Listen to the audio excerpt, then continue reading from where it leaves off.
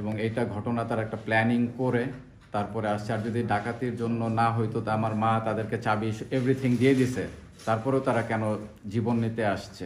এটা হচ্ছে আমার প্রথম কোশ্চেন এবং ডাকাত দল তারা জিনিসপত্র নিয়ে চলে যাবে। তারা পেপার ওয়ার্কস এইসব জিনিসপত্র খোঁজারও তাদের কোনো, আমার কনসার্নে মনে হয় না এটার কোনো ভিত্তি বা কোনো কিছু আছে যে শুধু ডাকাতির উদ্দেশ্য হলে তাদেরকে তো জিনিসপত্র নিয়েই তারা চলে যেতে পারে। যেহেতু আমার মা বাবা এই জায়গায় বৃদ্ধ মানুষ, তারা কোনো প্রতিবাদ করে নাই। তারা জিনিস নিয়ে চলে যাবে। কিন্তু মারার জন্য আঘাত করা, এটা তো ইনফ্যাক্ট এটা তো অবভিয়াসলি অ্যাটেম্প টু মার্ডারেরই একটা ব্যাপার। আমার নাম মেহেদি হাসান শিশির। তো আমি এখানে আছি অলমোস্ট সাড়ে তেরো বছর যাবৎ দু হাজার ফেব্রুয়ারি ছয় তারিখে আসি আমি এই জায়গায়। আর তো ঘটনা হচ্ছে গিয়ে যে গত আঠাইশে মে, রবিবার মধ্যরাত আড়াইটা থেকে তিনটা এই সময় ঘটনাটা ঘটে। তো ঘটনার সময় উপস্থিত ছিলেন আমার মা, আমার বাবা আর আমার বৃদ্ধ দাদি। আমরা দুই ভাই, এক বোন, আমার বোনের বিয়ে হয়ে যায়। ও শ্বশুর বাড়িতেই থাকে আর আমার ছোট ভাই ঢাকায় পড়াশোনা করে একটা মাদ্রাসায়। তো আমার বাবা সাবেক সেনা সদস্য, এখন কিছুই করেন অবসরপ্রাপ্ত। আর আমার মা একজন সরকারি স্কুলের শিক্ষিকা। তো তো ঘটনা হচ্ছে গিয়ে ওদিন রাতে তারা জানালার গ্রিল কেটে দুজন আসে, আসার পরে আমার দাদি আড়াইটা থেকে তিনটার সময় উনি নামাজের জন্য উঠে। ওঠার পরে একজন গিয়ে তার গলায় এখানে একটা ধারালো অস্ত্র ধরে। ধরার পরে বলে, তাকে রুমে চলে যেতে, নাহলে তাকে মেরে ফেলবে। অ্যান্ড দেন সে তাকে রুমে নিয়ে যায় বাট ওনার রুমে গিয়ে দরজাটা লক করে না, তো উনি রুমেই থাকে। অ্যান্ড তারপরে যেহেতু আমাদের করিডোর ডাইনিং স্পেসের লাইটটা অন ছিল, তো রুমের লাইট অন ছিল না, রুমের বেডরুমের দরজাটাও খোলা ছিল। তো রুমে আমার মা বাবা দুজনেই শুয়েছিল, ঘুমাইছিল ইনফ্যাক্ট তো একজন গিয়ে প্রথমে তার গলায় আঘাত করে এবং গলায় একটা চেন ছিল, ওটা ছিনায় নেয় এবং তারপরে এখানে গলায় আঘাত করে। তো আঘাত করার সময় উনি ভাবে যে হয়তো আমার বাবার হাত লাগছে বা এরকম কিছু একটা। তো উনি আমার বাবাকে পুশ করে এবং বলে যে কি হয়েছে তারপর উনি চোখ মেলে চোখ মেলে দেখে একজন তার গলার এখানে অস্ত্র ধরে আছে। তখন আমার মা চিৎকার দেয় এবং আমার বাবাকে পুশ করে। তো আমার বাবা যখনই জেগে ওঠে জেগে ওঠার সাথে সাথেই কোনো কথা বলার আগেই তারা সাথে যে আরেকজন ছিল, ওনার হাতে ধারালো অস্ত্র, দা টাইপের একটা বড় অস্ত্র ছিল। সেটা দিয়ে উনি গলায় আঘাত করে সরাসরি গলার এখানে। সো আমার বাবা যেহেতু সেনাবাহিনীতে ছিল অনেক বছর, উনি ফিজিক্যালি অনেক ফিট অ্যান্ড তারপরে বয়সের যতটুকু sixty sixty five years old হয়ে গেছে, যতটুকু থাকা যায়, তো উনি লাইফ সেভ করার জন্য উনি হাত দিয়ে এভাবে ব্লক করে। তো ব্লক করার সময় তো ওনার কোপটা ওনার হাতে লাগে, তো হাতের কবজি বাম পাশের কবজিটা অলমোস্ট এখান থেকে নিচ পর্যন্ত শেষ হয়ে যায় এবং দায়ের আদা আরেকটা অংশ ওনার ডান হাতে লেগে নিচের এই পর্যন্তই হয়ে যায়। তো তারপরে সাথে সাথে উনি বিছানায় পড়ে যায়, পড়ে যাওয়ার পরে অ্যান্ড দেন আমার মা সাথে সাথে বলে যে, বাবা, এই যে আমার চাবি, তোমরা যা খুশি নিয়ে যাও বাট তোমরা আমাদেরকে আঘাত করো না, মারো না। তোমরা আমাদের যান ভিক্ষা দাও।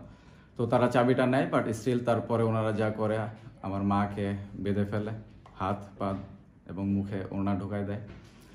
এবং তারপরে আরেকজন গিয়ে সাথে সাথে আমার বাবার নাকে পাঞ্চ করতে থাকে এবং আরেকটা যখন কোপ দেয় তখন তার বুকে লাগে। দেন মাথায়, কপালে, ঘাড়ে, পায়ে পাঞ্চ করতে থাকে আরেকজন। এই সময় আমার মা চিৎকার দিতে চাইলে, তখন আরেকজন যে আছে সাথে গলায় ছিল, উনি ওনার এখানে আগা, গলায় ঠিক গলা বরাবর কোপ মারতে চায়। তো উনি মাথা সরাইলে ওনার কোপটা ঠিক ডান পাশের এই সাইডে লাগে। তো লাগার পরে আমার বাবা আরও চিৎকার করতে নিলে, তখন আরেকজন গিয়ে তার পায়ে একটা আঘাত করে। করার পরে আমার বাবা বিছানায় পড়ে যায়, যেহেতু হাতের এখানে অনেক ব্লিডিং হতেছিল দেন তারা একটা ধারালো অস্ত্র নিয়ে আসছে, যেটা দিয়ে ওনারা প্রথমে আলমারিটা খুলে খোলার পরে আমার মা যেহেতু চাবি দিয়ে দিয়েছে আলমারি ড্রয়ার থেকে ওনারা প্রায় এগারো বারো ভরি স্বর্ণ, নগদ এক দেড় লাখ টাকা, দুই লাখ টাকার মতো ছিল ওই জায়গায়। টাকা এইগুলোর সব বিবরণ ওই থানার এজাহারে মামলাতে দেওয়া হয়েছে এবং তারা কিছু কাগজের দলিলপত্র, এই জিনিসপত্র তারা খোঁজে, খোঁজার পরে কিছু জিনিসপত্র তারা এগুলি নেয়। এবং নেওয়ার পরে যখন ঘটনা ঘটতে থাকে, তখন আমাদের বাসার পিছনে যে জানালা আছে, বেডরুমের জানালার পিছন দিয়ে তখন আরও দুজন লোক তারা বলে তোরা কাজ শেষ করে তাড়াতাড়ি বের হয়ে চলে আয়। তো যখন এই কথা বলে তখন আমার মা বাবা দুজনে তাদের ভয়েসটা চিনতে পারে। এবং ইভেন ইনফ্যাক্ট যারা এই কাজটা করছে তাদের মুখ টুক কিছুই বাধা ছিল না। তাদের ওপেন জাস্ট ওই লুঙ্গি পরা ছিল লুঙ্গি। যারা ঘটনাটা ঘটাইছে বেসিক্যালি তারা হচ্ছে গিয়ে বাইরে যে দুজন লোক ছিল যে সাসপেক্ট যাদেরকে করা হয়েছে যাদের নাম বলা হয়েছে তারাই তাদেরকে নিয়ে ঘটনাটা ঘটাইছে। সো তারপরে তারা তাদের নাম উল্লেখ করে যে, জুয়েল ভাই, সোহেল ভাই, আমরা কাজ শেষ, বাইরে চলে আসতেছি।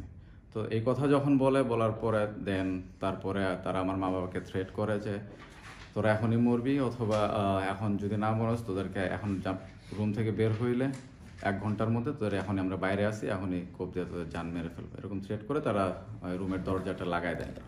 লাগাই দেওয়ার পরে ফিফটিন টোয়েন্টি মিনিটস পর হি ওয়াজ হ্যাভ ব্লিডিং এবং তারপরে কি করবে, স্বামীর জীবন বাঁচানোর জন্য সে তার শাশুড়িকে ডাকে। দেন শাশুড়ি তার রুমের দরজাটা খোলে। খোলার পরে তারপরে তারা বার হয়ে আসে। দেন তারা যোগ এখন মানে কোন অবস্থা আছেন এখন আমার বাবা স্টিল পঙ্গুতে আছে। দুই দিন আইসিউতে ছিল এখনই হ্যাভিলি ট্রিটমেন্টের মাধ্যমেই আছে। তো এখনও বলা যাচ্ছে না কি হবে। তার একটা সার্জারি হয়েছে আরেকটা সার্জারি হবে।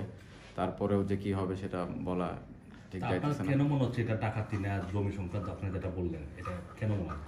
এটা মনে হচ্ছে প্রথম নাম্বার ওয়ান হচ্ছে গিয়ে এর ঘটনার এক সপ্তাহ আগে সাজানোভাবে তারা একটা মামলা উপস্থাপন করে যেটা ইনফ্যাক্ট এটার কোনো ভিত্তি ছাড়াই তারা আমাদের বাকি আরও যে চাচা ছিল তাদের নামে সেখানে বলে তারা আমাদের আটকায় রাখছে বা এরকম কোনো প্রমাণ বা কোনো কিছুই তারা বলে নাই। এবং এইটা ঘটনা তারা একটা প্ল্যানিং করে তারপরে আসছে আর যদি ডাকাতির জন্য না হইতো তা আমার মা তাদেরকে চাবি এভরিথিং দিয়ে দিছে। তারপরেও তারা কেন জীবন নিতে আসছে? এটা হচ্ছে আমার প্রথম কোশ্চেন এবং ডাকাত দল তারা জিনিসপত্র নিয়ে চলে যাবে।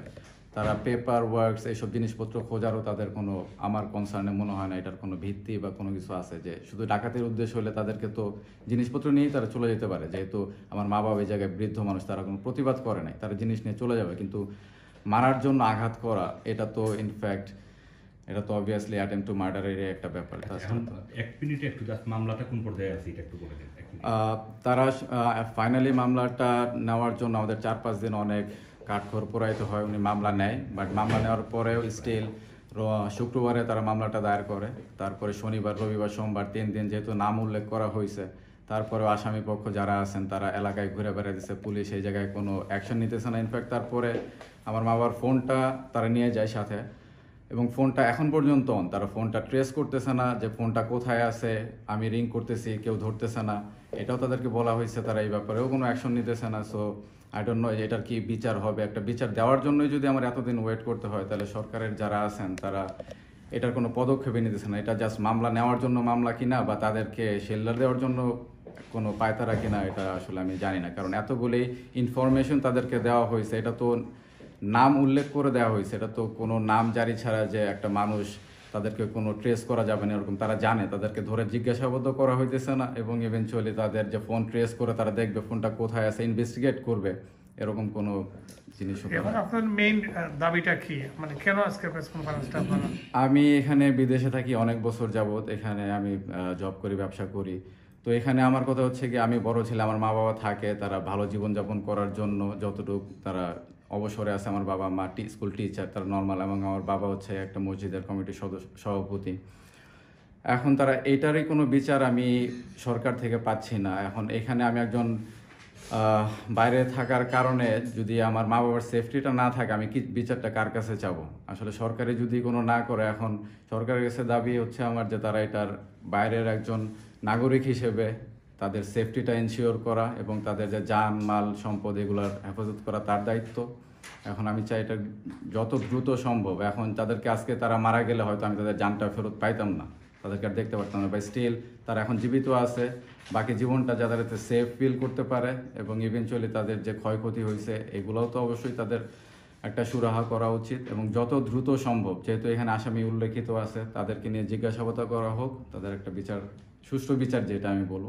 সেটা নিশ্চিত করা হোক। একটু অল্প করে জাস্ট